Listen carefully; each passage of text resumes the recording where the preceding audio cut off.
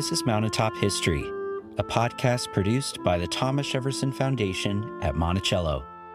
Mountaintop History brings forward meaningful stories from this historic home and plantation, from the past and from the present. My name is Kyle Chattelton. And I'm Olivia Brown. Thank you for joining us. We hope you'll learn something new. On September 13th, 1825, John Henry Isaac Browere wrote to Thomas Jefferson. He said, quote, If the love of liberty still predominates in your venerable breast, which we doubt not, and if an equal desire of advancing the fine arts in the Western world fill your heart, it is to be hoped that our late, venerable, and beloved President Thomas Jefferson will bear coincidence with General Lafayette, President Adams, etc., and permit me to call at his place of residence as soon as possible and take a cast of his features. We truly know of no higher or greater gratification the American people would feel than at seeing a perfect facsimile of our esteemed friend and benefactor, President Jefferson. Browere, an artist from New York City, wanted to take a cast of Thomas Jefferson's face while he was still alive. But what resulted was a life mask that nearly became a death mask. With a letter of introduction from James Madison, who had recently sat for his own life mask, Browere arrived at Monticello on October 15, 1825. Madison wrote to Jefferson, quote, Mr. Browere is so anxious to pay his respects to you that I cannot refuse him a line of introduction and he continued by describing Browere's success as an artist as, quote, highly attested.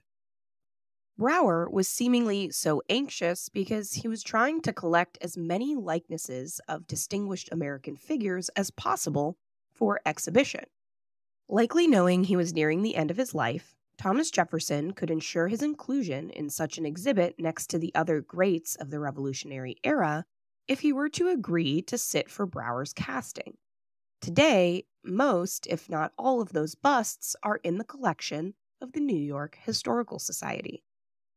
The process that took place included Browere laying a mixture of grout and plaster onto the face of an 82 year old Thomas Jefferson, neither an easy task for artist nor subject. While life masks were commonly made in Europe, the procedure was mostly unused in the United States until Browere. Prior to layering the plaster, Browere prepared his subjects by oiling their skin, eyebrows, and hair, placing straws in their nostrils to help them breathe, and then warming the grout mixture to make it more pliable for application. The specific grout and plaster mixture he used was of his own invention, and he had spent time developing a substance that would produce a more realistic mask than previous ones made solely out of plaster of Paris. The resulting mask and bust that came out of it only showed Jefferson's face and parts of his upper body. Clothing and hair were added on later by Browere as the artist. The bust shows Jefferson with a stern look, lips thin and in a slight frown, brow furrowed. He had surprisingly few wrinkles for being 82 years old, though this could be because of the material used to make the cast. One thing the mask itself does not indicate, however, is any real sense of fear or distress, which clearly was part of its making. In a letter three days after the ordeal, Jefferson wrote back to Madison on October 18, 1825, about his experience sitting for John Browere. He said, quote, I was taken in by Browere, he said his operation would be of about 20 minutes and less unpleasant than Houdon's method. I submitted, therefore, without inquiry, but it was a bold experiment on his part on the health of an octogenary, worn down by sickness as well as age. Successive coats of thin grout plastered on the naked head and kept there an hour would have been a severe trial of a young and hale person. He suffered the plaster also to get so dry that separation became difficult and even dangerous. He was obliged to use freely the mallet and chisel to break it into pieces and get off a piece at a time. These thumps of the mallet would have been sensible almost to a loggerhead. The family became alarmed, and he confused till I was quite exhausted, and there became real danger that the ears would separate from the head sooner than from the plaster. I now bid adieu forever to busts and even portraits. This recollection by Jefferson may not capture the extent of the event. In a letter the next day to her sister Ellen Wales Randolph Coolidge, Thomas Jefferson's granddaughter, Virginia Jefferson Randolph Trist, wrote, quote, a vile plasterer who calls himself an adept in the art of taking likenesses in plaster came here highly recommended and prevailed on grandpapa to submit to that horrible operation of molding the plaster on his face and even enclosing the whole head and throat, which seems like burying alive. Apparently, Jefferson recovered enough to join the family for dinner, and Browere was invited to stay despite the distress he caused the former president and his family. Virginia Trist said her grandfather was in his usual cheerful spirits, but that Browere had the impudence to advert to the scene as if it were a fit subject for his jests. Word of the event traveled throughout Jefferson's family members as well. His grandsons in law exchanged letters in November. Joseph Coolidge, in a letter to Nicholas Trist, wrote, quote, That rascal Browere deserves castigation. When the letter came which told us of his conduct, we were distressed to hear of the suffering he has caused Grandpapa. Further family accounts told to biographer Henry S. Randall in 1858 indicate that it was Thomas Jefferson's enslaved personal attendant and butler, Burwell Colbert, who recognized Jefferson's distress and helped save his life. Randall wrote, quote, Burwell became conscious of Jefferson's situation and sprang furiously forward, which must have either been in an effort to help Jefferson or to alert Browere as to what was happening. Stories of Browere's life mask clearly spread around the plantation, possibly from Colbert or from others who witnessed it in the home. In his first hand account, Peter Fossett, an enslaved man who lived at Monticello as a child, said, quote, I never saw the bust made from this life mask, but I remember when the mask was taken. I was then 10 years old. The man who took the mask covered Mr. Jefferson's head, shoulders, arms, and body down to the waist with clay or plaster of some kind. He left holes for the nose and eyes.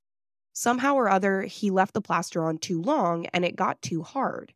He had to take a chisel to knock it off, and when he got it off, Mr. Jefferson was greatly exhausted. The report got around that Mr. Jefferson had been killed, and there was the greatest excitement until we all saw Mr. Jefferson again alive and well.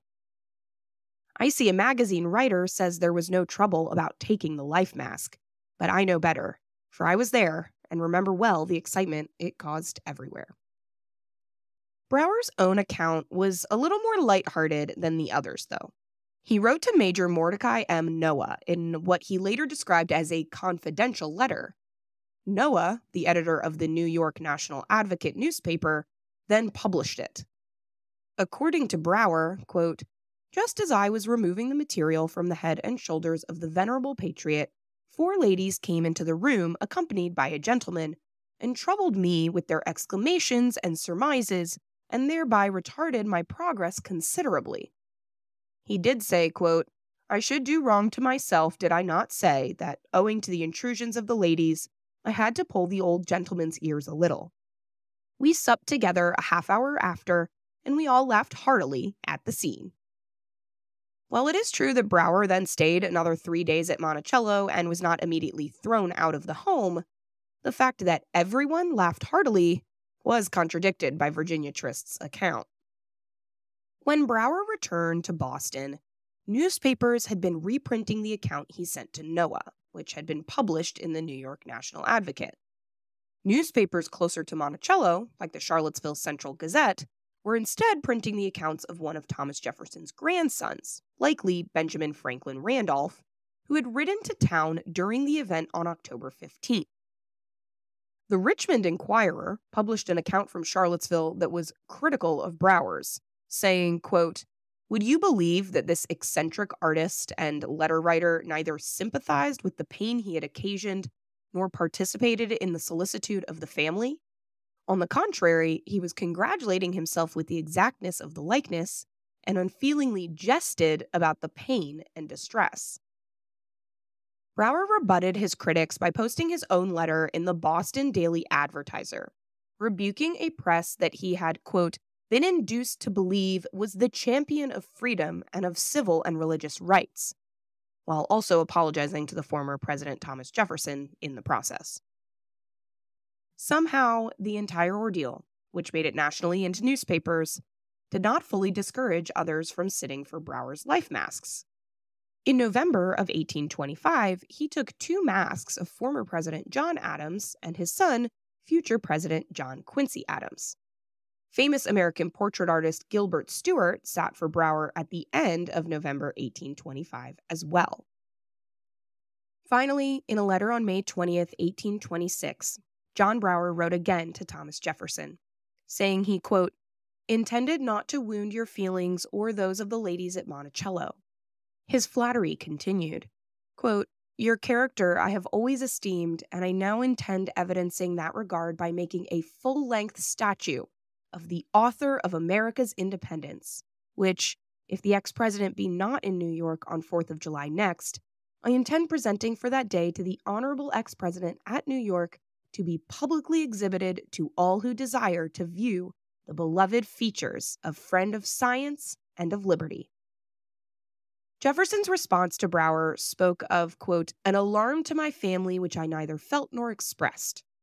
And he wrote that, quote, it has left not a trace of dissatisfaction as to yourself. He closed simply by writing, Accept this assurance with my friendly salutations. John Henry Isaac Browere did complete a full length statue of Thomas Jefferson that went on display in New York City Hall in time for the celebrations of the 50th anniversary of United States independence. Unfortunately for Browere, the former president was not in attendance, as he died that very same day, July 4th, 1826.